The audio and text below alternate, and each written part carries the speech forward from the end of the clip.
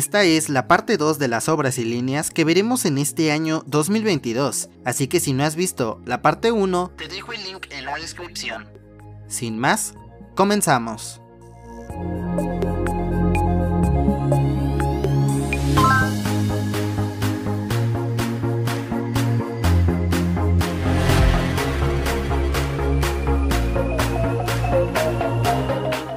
La última de las obras de ampliación del sistema Metrobús vigentes se trata del Metrobús Línea 4, que se ampliará desde Pantitlán, donde transborda con el metro líneas 1, 5, 9 y A, con el Mexibus Línea 3 y con el Trolebús Línea 2, y llegará hasta Alameda Oriente. Tendrá una estación intermedia en calle 6, donde transbordará también con el Mexibus Línea 3. Se prevé ser inaugurada durante el primer trimestre del 2022.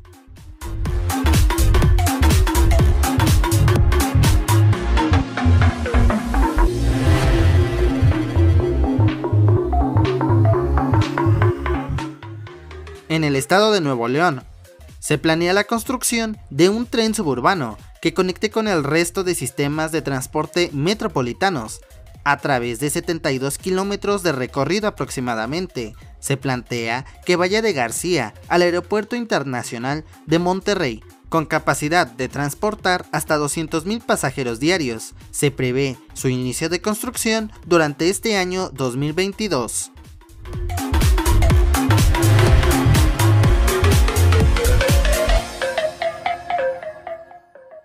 La tragedia que sucedió el día 3 de mayo del 2021 en la interestación Tezonco-Olivos obligó a suspender el servicio de la línea 12 del metro hasta la actualidad. La empresa constructora Carso se comprometió a reparar el tramo colapsado y a su vez reforzar todo el tramo construido por dicha empresa.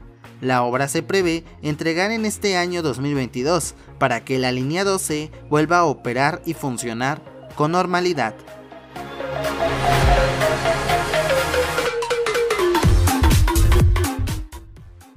El CETRAM Indios Verdes, un punto importante de conectividad dentro de la Ciudad de México y el puente al Estado de México, actualmente está recibiendo su renovación.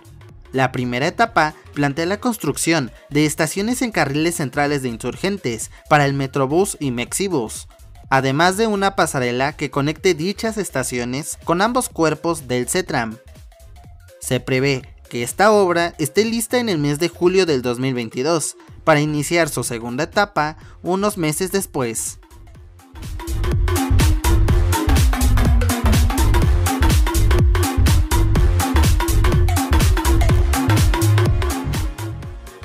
Y aquí están las menciones honoríficas de este video.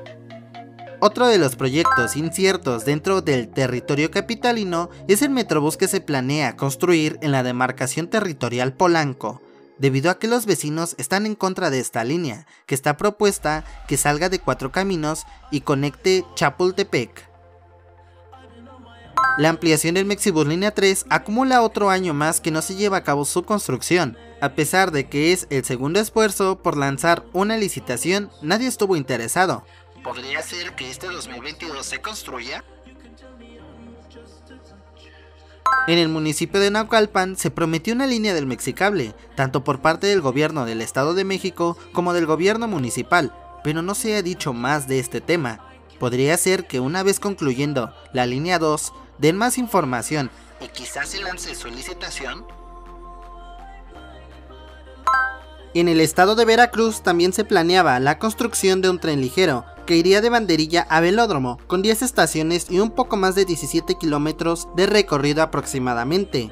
Lo último que se dijo es que no se iba a iniciar el proyecto si el término de obras fuera en 2024, que no iban a dejar pendiente ninguna obra, así que 2022 puede ser un último respiro para este proyecto.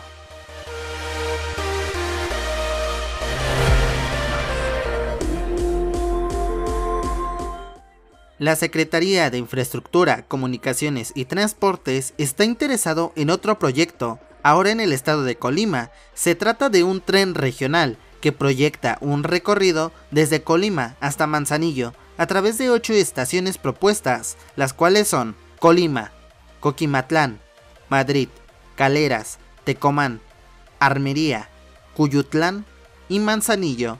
Se busca que este 2022 pueda lanzarse su licitación para su construcción.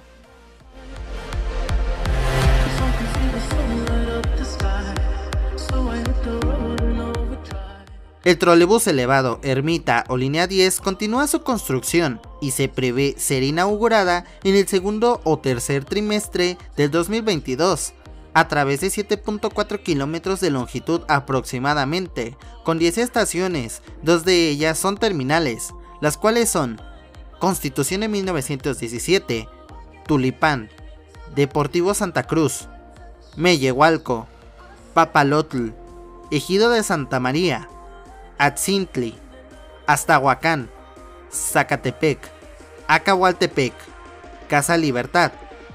Se prevé que se amplíe al CETRAM Santa Marta este mismo año.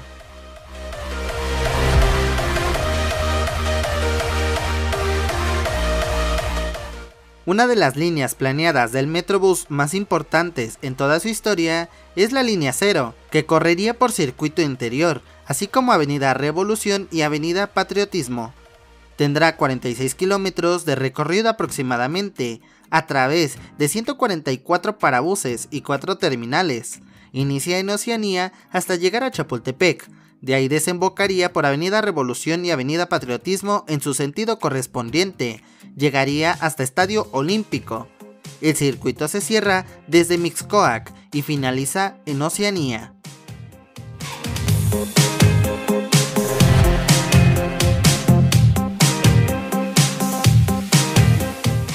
El trolebús línea 10 o línea elevada se entregaría en el segundo o tercer trimestre del 2022 Después de su ampliación a Santa Marta, se estudiaría y se lanzaría su licitación y su ampliación desde Constitución de 1917 a Mixcoac. Se prevé que dichos estudios comiencen este año para determinar la factibilidad del proyecto.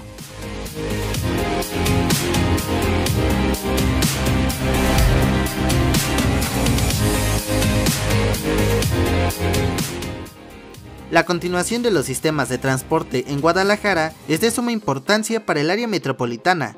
La línea 4 del tren ligero comenzaría su construcción este año 2022, con 20.8 kilómetros de recorrido aproximadamente. Se planea que la línea comience en la estación Fray Angélico de la línea Mi Macro Calzada. Correría en sentido surponiente hasta llegar a Tlajomulco de Zúñiga.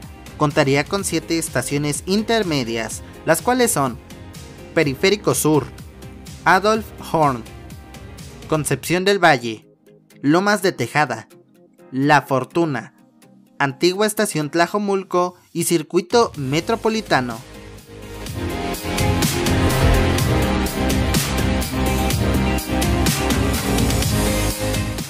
La línea que ya dábamos por muerta y que se había dicho que se construiría en 2021 ha resucitado el gobierno federal ha puesto interés de nuevo en el proyecto. La línea 2 del tren ligero saldría de Río Hondo, en el municipio de Naucalpan, por todo el derecho de vía, hasta llegar a Refinería, donde transbordaría con el metro línea 7. Finalizaría su recorrido en Buenavista, donde transbordaría con el metro línea B, el tren suburbano Sistema 1, el metrobús líneas 1, 3 y 4. No se han mencionado fechas exactas, pero este 2022 podría ser un buen año para este proyecto.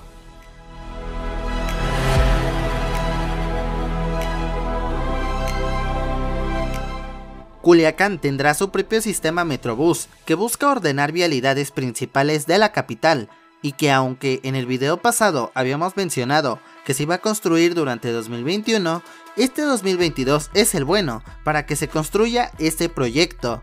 Se ha dicho muy poco sobre el trazo de ruta, pero la primera línea se propone que salga de la sindicatura de Aguaruto y llegaría a Lomas de Rodriguera. El proyecto contempla otras cinco líneas, pero se verán reflejados en los siguientes años.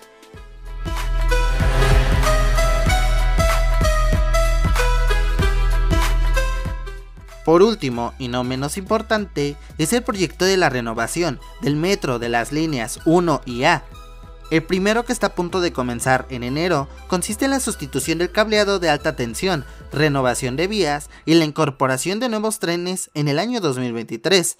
Por su parte, la línea A recibirá una manita de gato y también incorporará nuevos trenes. Se renovarán estaciones para mejorar la frecuencia de trenes, así como las instalaciones que estén en óptimas condiciones para su operación.